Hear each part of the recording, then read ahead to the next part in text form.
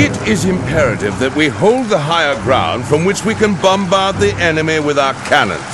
Captain Steimer will hold the line of this side of the River Ospeck, backed up by Captain Feldsturm's artillery. What is my role, Count? You will take a contingent across the river and attack the watchtower the Chaos forces are holding on the hill.